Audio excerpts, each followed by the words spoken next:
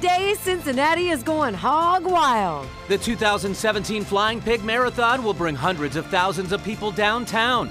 Tonight, we're getting you ready to run, walk, or watch. I think just being prepared for the changes and knowing about them in advance. From changes to the course to what you should bring with you on race day. Doesn't matter what they like, what disease they have. Like, nothing's impossible. To the stories that make the Flying Pig so special. WLWT is your home for coverage of the Flying Pig Marathon weekend. This is a WLWT presentation. The stories behind the marathon. And good evening, everybody. I'm Mike Dardis. And I'm Sheree Paolello. So, the Flying Pig Marathon takes off in a little more than three weeks. And if you are a runner, well, your training is probably in high gear. So, if you are as excited as we are, or maybe you need a little bit of an extra push, like me, we are here tonight to get you ready for the start line. All right, WLWT News Host George Vogel following some of the runners as they train for those 26.2 miles. Hi, George. Hey there, yeah, we're on Madison Avenue heading towards O'Bryonville, and we found a training group here that runs out of Bob Roncker's running spot, and they've got about 50 of them out here training tonight. And this is the way to do it, especially if you are a first time marathoner. You need to find a group of people. It helps push you along, keeps you going. You don't want to just wake up and say, hey, guess what? I'm running 26 miles today. No, you have to play it smart and train for the flying pig. All right, friends, are we ready? Okay. If you're going to do it, do it right. This training group started at the beginning of the year and will have these runners ready to go on race day. Just the training itself can be an accomplishment. It is amazing where we've ran. We've been all over downtown, over into Newport, um, Mount Adams, places like when you look on the map and think, I've ran that far, it's kind of crazy. Nice job, guys. Nice job, Tonson. They train two to three times a week for four months, and training is not just for beginners. Nice job, you guys. For me, I've done it several times, but it's fun with the training group because I have a lot of new people, I have a lot of first time marathoners, and it brings back some of the excitement again. You're doing great. Thank you, Chris. The four month regimen is built to increase stamina and distance. And if you haven't been training, be careful. What you don't want to do this late in the game is overdo it. So you don't want to be going out and adding lots of mileage that you otherwise haven't done. All right, 345, here we go. If you do it right, you have every reason to believe you'll end up crossing that finish line. Be confident and, and tell yourself that you've put, put in your training and you're prepared yourself the right way and you can get through it on race day.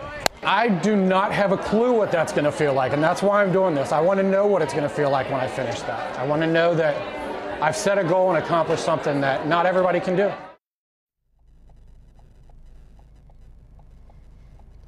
And our training group has reached O'Bryonville. They're at Bob Roncker's where they're stopping for water. Then they will continue their training from here. They're going to run all the way down Madison to Dana, then Dana back to Listermann Brewery, which is a great place to end a run because they are working up quite a sweat out here. Uh, I'm going to meet them at Listermann's. I won't be sweating because I'm sitting in beautiful air conditioning in this vehicle, but we're going to be back there and talk to some of these folks when they get through with their training run. But again, I can't emphasize enough if you want to run in the pig next year, get in one of these training groups. It's a great way to go, keeps you motivated, gets you on the pace you need to be on so you're ready to go when that first weekend in May rolls around. In O'Bryonville, I'm George Vogel. Let's go back to the studio for more on the pig. All right, George, that was a really neat shot driving along. And how did I know that George would end up in a car? Uh, along the route while everybody else is running. Well, there are some major changes to the Flying Pig course. Street construction projects on both sides of the river, forcing race officials to make some adjustments. Making changes to the course is a process. And it's a process that race coordinators want you to be aware of. It starts before you even take off. The starting line has been moved a couple hundred feet west along Mehring Way between Central Avenue and Elm Street. When you cross the Taylor Southgate Bridge into Newport, you will now turn left onto 3rd Street. Then, two blocks later, take a right onto Saratoga and another right on 4th Street. And then you will be back on the usual route. Once you're back into Cincinnati, you'll turn left off the Clay Wade Bailey Bridge as normal. But then at the first intersection, take a right onto Gest Street to get to 7th. Full marathoners will see the next change from mile 11 through 18. You will now stay on Erie Avenue after the Hyde Park Square and head into East Hyde Park. At the bottom of the hill, You're going to turn onto Murray Road and go past the traffic triangle and then turn around. And finally, the route will now go two blocks farther on the Fairfax Bike Trail until you hit Germania Street. I think just being prepared for the changes and knowing about them in advance um, will help you mentally prepare for what you need to know on race day. And there will be extra volunteers and signage to help runners with the changes. All of these changes temporary for this year's race. The two road projects are expected to be all finished up by race day next year. Okay, so you probably have more questions than just the course changes. So the Flying Pig officials have you covered once again. We're going to slow jam the pig. Our event is all about the pig, and you are all our VIPs, our very important pigs. You'll see pigs from the time you arrive until the time you cross the finish line in Cincinnati. Just don't hog the finish line, baby. Executive Race Director Iris Simpson Bush has answered a lot of your questions in their very own version of Jimmy Fallon's Slow Jam the News. Get your questions answered by watching the full video right on our website, WLWT.com. Okay, let's face it, you have to be tough to run a marathon, right? And for some, running gets them through tough times too. WLWT News says Lisa Cooney has one woman's story of running through the pain of losing loved ones, her own cancer diagnosis, and all while inspiring others to never give up. You feel proud? What do you oh, absolutely. I feel proud. I feel a lot of sweat and tears and all of this. They take up her entire dining room table, medals from 40 marathons and more. Flying Pig medals take up a lot of room too, and some from the world's best known race, the Boston Marathon. This is Erin before the 2013 race. She was running in memory of her sister, who recently passed away. Says her sister was her guardian angel that day, helping her finish the race 18 minutes before the bombing. This is the Loveland Bike Trail Erin often trains here. She says running has gotten her through some of the toughest times in her life the death of her sister, her father, her mother, and less than a year ago, a diagnosis of breast cancer. Five surgeries, three biopsies, and through it all, Erin kept running. In this case, Erin credits the spirit of her deceased mother for saving her life. Erin saw a mammography van from the same cancer center that treated her mom, and on a whim, Erin knocked on the door. She said, Do you have an appointment? And I said, No. And she said, Come on in, honey. And she grabbed me and she took my history and they gave me a mammogram. I do believe, you know, that was there by her. Mm-hmm. She was looking out for me, saying, Erin, get a mammogram. That's when they found the cancer. Erin continued her training in between treatments and procedures and believes running helped her cope. Her battle and determination has been an inspiration for others, and Erin says she is inspired at every race. If you sit at a finish line and you see everybody that crosses, it's amazing. It's all shapes and sizes, all ages. I mean, it truly is. I mean, if you think you can't do it, you can. Lisa Cooney, WLWT News 5. Boy, what an inspirational story there. Erin is also raising money to help find a cure for breast cancer and also to help women get screened who can't afford it. Flying Pig Marathon has grown so much since it began 19 years ago. It's become more of a community event, as you know, centered around the race. A woman who ran the first marathon says that she has loved to see it grow. Every year I just see more and more people participating and more of the city participating. Right. It is so great to see. That great lady is turning 86 on the day of the Flying Pig. She had planned on running the marathon to celebrate it, but unfortunately she is hurt, so she will not be running in this year's marathon. We are a little bit early, but we need to say happy 86th oh, birthday to you. I'm telling you, that is what it's all about. Just countless stories just like hers. So the Flying Pig Weekend takes off Friday, May 5th with the P&G Health and Fitness Expo. And then the first race of the weekend, the Little Kings Mile, steps off Friday night. Saturday starts off with the 10K at 8 o'clock in the morning, followed by the 5K at 10. Saturday is also a day for the family with several races for your kids and even your pets.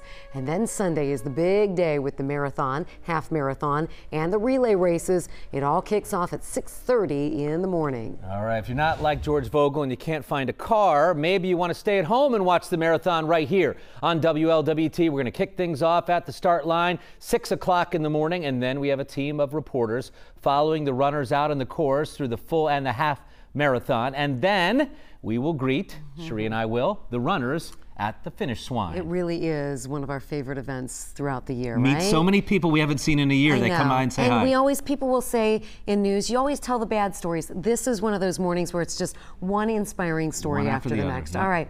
Many people are running the marathon, as we've mentioned, for a purpose. And this year, a team will be running the 26.2 miles to prove that a dash is what's very important. On the tombstone, you see the birth and the death of somebody. It's the dash in between that matters.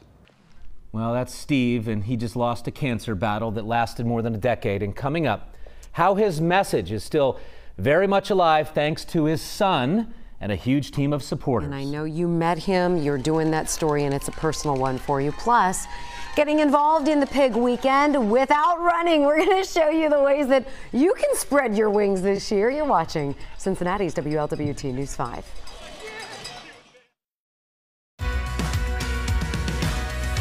And welcome back, everybody. The Flying Pig Marathon is about people running with a purpose for a loved one, a friend, a special cause. And this year's pig features a team running in honor of a very brave man who battled melanoma for more than a decade. I interviewed him back in 2012, and Steve Hazelbeck's message is still being delivered today, loud and clear, eight months after his death.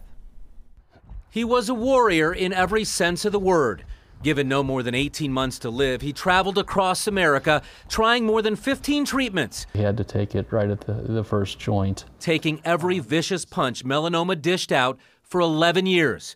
He used the ugly cancer to send out a beautiful message cherish the time you have and use it wisely. On the tombstone, you see the birth and the death of somebody. It's the dash in between that matters. That was Steve Hazelbeck five years ago when I first met him at his Liberty Township home and he definitely made the most of that dash in between. He joined the board of Melanoma No More, started running the Flying Pig Marathon to get the word out about skin cancer prevention and getting regular screenings.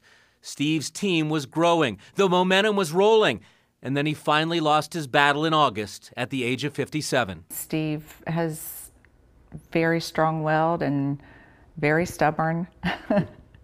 and um, he was determined. Like what you said, like I've grieved for 10 years. After 36 years of marriage, Janet wanted Steve's mission to continue. But how? He said, I'm going to recommend you for the board of Melanoma No More. And I said, I, I said, it's just too raw. I can't do it right now. And um, I said, I think Ben would be great. And Ben is amazing. Ben is Steve and Janet's 27 year old son. He's taken the baton from dad, joining the board, and now training to run the full marathon that first Sunday in May at the Pig. He says his father is watching from heaven. I think he is legitimately proud of, of what I'm doing and and what I intend to do as moving forward because this isn't you know this doesn't end on May 7th when the race ends you know this this battle is going to continue you know you know, for as long as it takes. After graduating from the University of Kentucky, Ben spent three years working in Colorado.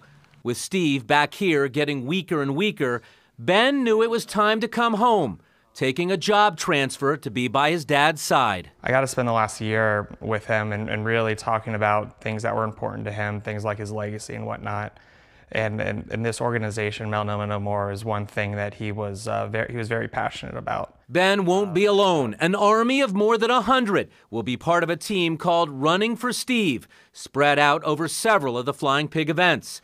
It puts a smile on Ben's face, and it reminds him Dad's goals are being reached even after his death. Until the Lord decides what He wants to do with me, um, I, I want to help others, and I want to one person at a time 10 people at a time, it doesn't matter. No longer here in body, but his spirit is strong. And don't worry, Steve, people are still listening. So, on a personal note, after interviewing Steve five years ago, I actually had a few suspicious areas on my face checked out. So, I've been to the dermatologist for treatment three or four times since. So, Steve, if you're listening somewhere, you are making a big difference. And if you'd like to spread Steve Hazelbeck's message and raise awareness and much needed money for Melanoma No More, just go to our website, WLWT.com. There's a link there in Steve's story that will allow you to donate to his son Ben's team running the full marathon, just what Steve would have wanted. I know that one was personal for you. Heartfelt, beautiful story there. And Ben, we are going to be waiting for you at the finish line. Can't wait to see you do it for your dad and everyone else. If you are running, or maybe if running isn't your thing, there are still plenty of other ways to participate in the Flying Pig Weekend too. Volunteers help make the pig fly, if you will, lovingly known as grunts. More than 5,600 volunteers are needed to help make the marathon as special as it is. Volunteers are needed for each event along the courses, at the medical stations, and even at the expo throughout that entire weekend. And another important job, the squealers. That's what the Flying Pig calls all of the spectators along the course. They really help make this marathon so great. It's why it gets national and international recognition. So they're out there encouraging the thousands of runners. It is something that runners really look forward to at every turn along the marathon route. So for squealers, there are specific party zones set up at some of the best viewing spots along the course. And the Flying Pig Marathon has something for everyone, including people with disabilities who do not want to run competitively. Good job, guys.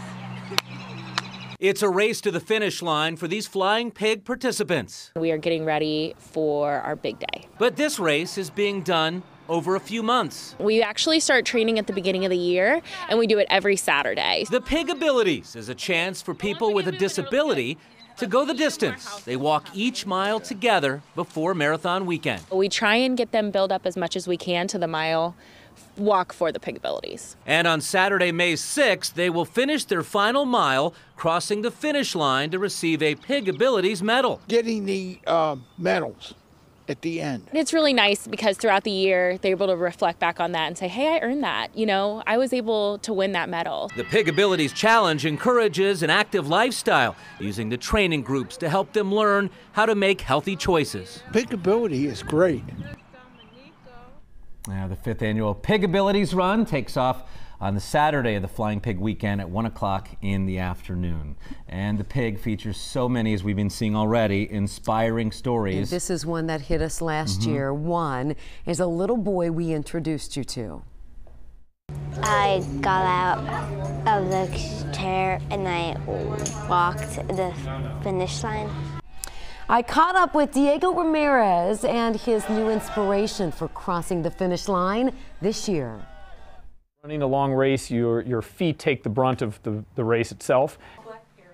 Getting prepared to run 26.2 miles and the full marathon. Do you have the gear that you need to go the distance? We're going to check off what you need one by one when we come back next on WLWT News 5. That's what we do. And welcome back, everybody, to our Flying Pig special. 25 days to go before the big race. Are you ready? Yeah, so there are a lot of things to consider before you lace up those shoes. And WLWT News 5 Sports Director George Vogel live now with a checklist for all of you runners out there. Hi, George. Hey there, yeah, somehow we have made it. The Listermann's Brewery is our landing spot here. This is actually where that training group we showed you about 20 minutes ago, they're going to be coming down Dana Avenue and ending their run here uh, at, a, at a brew house, which is not a bad idea after that 45 minute run they're going to have. But if you are a new runner or a Flying Pig streaker, there are some basic things you're going to want to have with you on race day. And right now, we have your Flying Pig gear checklist. On the top of the list is a good pair of shoes. Training program director Rick Lucan says, don't rely on those shoes you've been training on for months. Get a new pair of shoes now. Get a couple of runs in them before the race, a couple of miles here and there, and then they'll be race ready. Then don't forget about socks. Rick suggests something synthetic, not cotton. Also consider compression socks or sleeves. This provides compression in areas where your muscles are taking a lot of beating, and this will provide support and ultimately enables you to recover a little better. To avoid chafing, Rick says apply an anti chafing stick to areas of your body where fabric could rub against it. That includes your feet. As for clothing, consider a technical fabric to help with moisture, and a race belt to store nutrition, such as gels and chews. It's definitely something you want to be taking during long races as your body depletes sugar and you need to replenish it as you go along. And we're back live here at Listermann's, where a meeting spot for the training group we showed you earlier. And they certainly uh, have been doing this right from the get go, getting ready for that big run coming up the first weekend of May, the Flying Pig Marathon. And I, guys, I guess if I didn't get out of the car and join that training group earlier, I guess I can't join these folks back here at the picnic table now. So I'm going to play it straight, I'm going to play it fair and I'm going to just come on back to the studio and be a good boy tonight. Let's go back to Mike and Sheree. if it takes him longer than 15 minutes, we we'll know, know, that he changed right, his mind. Right, We'll know the truth. All right, we've been talking so many great moments, but for me, uh, moment number one last year, we practically couldn't talk. We got emotional about right. this.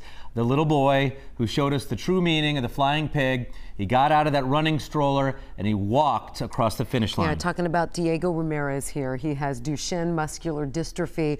And once again this year, his dad is going to be pushing him the entire marathon race. But then this year, when Diego walks across that finish line, he's going to be doing it for someone else. If you saw it happen, you'll never forget it. Then, 11 year old Diego Ramirez, who was told he would stop walking by the age of eight, got out of his running stroller and proved doctors wrong. Last year was about Diego and his fight. This year, he and his family are paying it forward. Every step he makes will be honoring Joey Bishop and all the kids that are there that need that message to come out. Joey Bishop of Ludlow, Kentucky also had Duchenne muscular dystrophy. And while he lived to be 18, police say he died in pain from bed sores and neglect. We want to honor him. He had a very rough uh, ending, and we don't want it to happen silently. Diego's mom, Leslie, has no idea what happened to Joey or why, but she understands the physical and emotional pain of caring for someone with a terminal illness. It's a nightmare, daily nightmare. That it is. You don't go any night without like suffering about the future. And living with Duchenne takes a toll on the entire family. The challenges of keeping a marriage strong, uh, like how to parent, like money issues, like paying the bills, insurance issues, like finding the right. It's just crazy. Leslie lost her marriage and had to give up her job at Procter and Gamble. These kids are awesome. They rock. She says the support she's gotten since Diego stepped across that finish line saved her. Just opening doors, giving me perspective. I've gotten a lot of support from people who helped me being stronger. And I need to say that I think God is there and He's helping. So the message this year be a friend and Duchenne to let people know they're not alone either.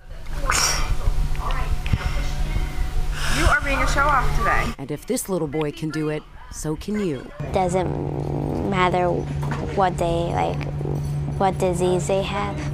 Like, nothing's impossible. Mm, this little boy, that family has stolen my heart. I'm going to cry.